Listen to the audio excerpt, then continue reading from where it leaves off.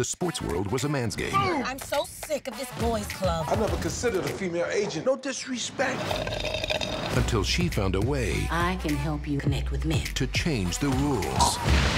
I smell toast. Wait, I have toast in my pocket. I can hear men's thoughts. Amazing. Just think of what this is going to do for your sex life. I hope it's okay I borrowed your mask. Welcome to Wakanda. What Men Want.